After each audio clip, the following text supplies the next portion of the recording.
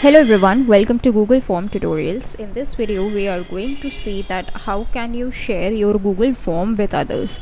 Once you have created the form, you have followed all the steps, it's time to share your form with others to get their responses. So what are the different ways of sharing the form? First of all, how can you share the form? So this is your form. You can just click on this send button and here Google will give you different options to share the form. The first option is to email the people. So in case you have a mailing list, uh, so that you can use or manually you can enter the mailing address of the people you want to email this form. You can select the subject and the message as well and if you want to include the form in the email. This gives you another option to add an editor for the form. Like if you want someone to edit your form that also you can do through this link. Next option we have is the link option. So this actually gives you a link which you can simply copy and share on your social media platforms or on through any medium through electronic medium any electronic medium you can share this.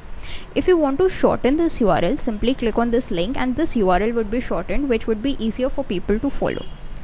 Last but not the least we have is the embedding option. So this basically gives you a code that you can embed uh, the HTML code, which is an iframe tag. This you can embed in your site, and whenever any person visits your site, they will see this form they can fill this form and you will be getting all the responses. Furthermore you can also share them directly through different social media platforms like facebook and twitter.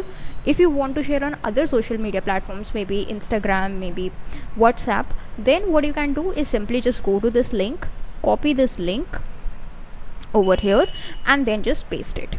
Other option we have is the collect emails option which allows you to collect the emails of every person who is filling that form.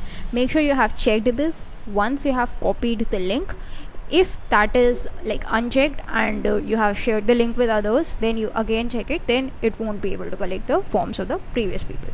So that's it for this video. Thanks for watching